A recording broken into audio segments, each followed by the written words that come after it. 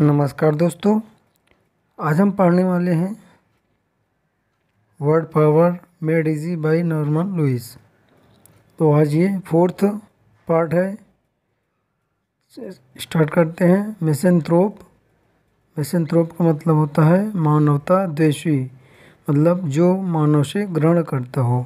M I S N misanthrope T H R O P E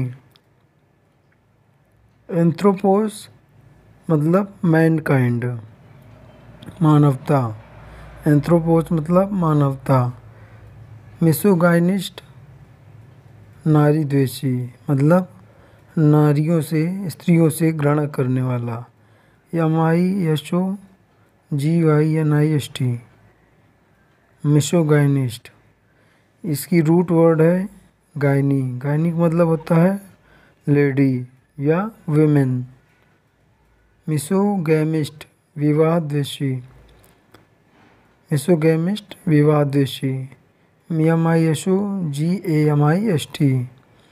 तो ये इसका root word है, gamma, जिसका मतलब होता है मैरिज गामा को मतलब होता है मैरिज एंथ्रोपोलॉजी मानव शास्त्र A N T H R O P O L O G Y anthropology मतलब मानव शास्त्र, मानव का जो अध्ययन करता है।